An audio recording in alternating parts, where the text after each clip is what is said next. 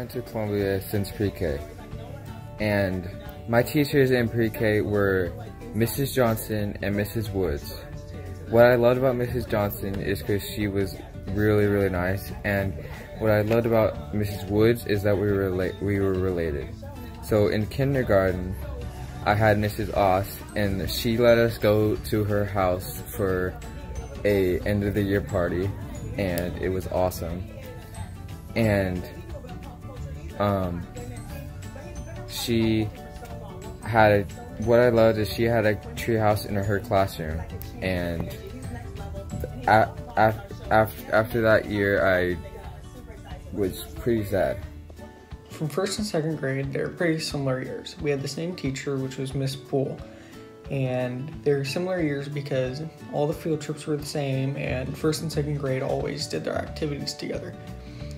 From the field trips, some of the the best ones were the zoo field trips and the pumpkin patch field trips, where the whole pumpkin patch field trip would be kind of a week long activity.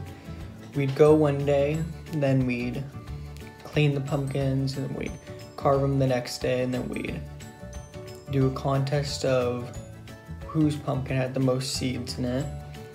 And then some of the other field trips were the beach field trips, where we would go to the beach. In second grade, we went up into one of the lighthouses, and we got to have a tour there. And then we also would cook hot dogs on the sand. And first and second grade were fun years because we had the same teacher, and it was really fun with everyone. I remember the chocolate waffle sundaes that Miss Heather used to make, the Pittock Mansion field trip, and the Miss Hout reading the Narnia series. Fourth grade. 2015 to 2016 our teacher that year was Mrs. Trover. Our new students that year were Raylan, Jason, Kim, Mike, and Noah. Memories of that year, we studied the history of Oregon and Native Americans.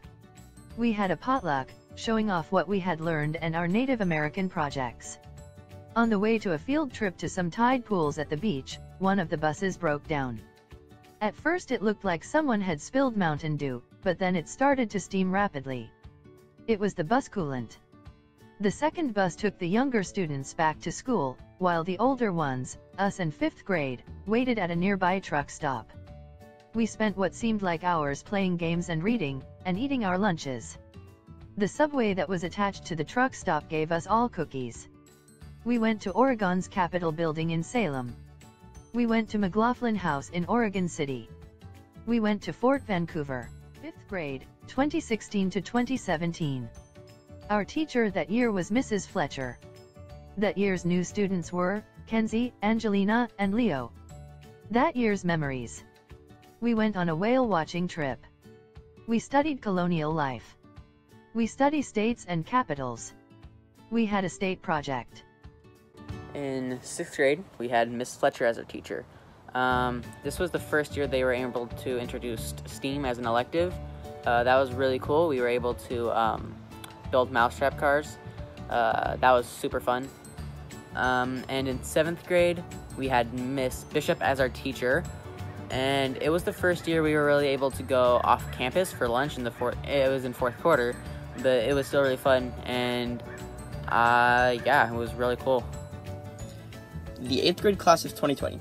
Our teachers this year were Mrs. Bishop for History and Study Skills, Mrs. Williamson for English and Bible, and, and Mrs. Hall for Math and Science, as well as Mr. Yaz for PE. The things we did this year for field trips were going to the Exquisite Creatures exhibit at OMSI, as well as planting trees at Kelley Point Park. The kids in the 8th grade class are Seth Alvarado, Owen Barrett, David Burns, Mikey Dempster Johnson, Raylan Hartman, Jasmine Hodgkin, Brady Housley, Leo Huang, Kenzie Lawrence, Kim Lopez, Ariana Muffenbeyer, Jason Cease, Skylar Stewart, Angelina Trong, Noah Venable, and myself, Hayden Reed.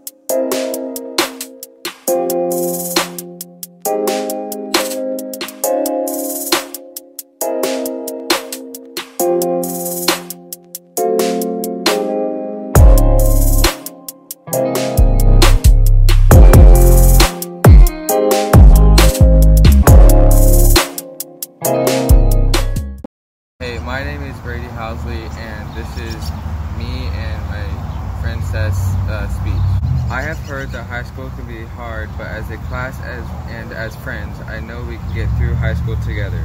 I've been going, going to Columbia for nine years now, and when I first came here, I didn't know very many people, but the next day I had bu a bunch of friends because it is not that hard to get to know people at Columbia. So high school will be tough, but our class is strong enough to get through it. We've been together for a while now with no new students. We'll always have each other's backs. They say high school is when friendships get a little rocky.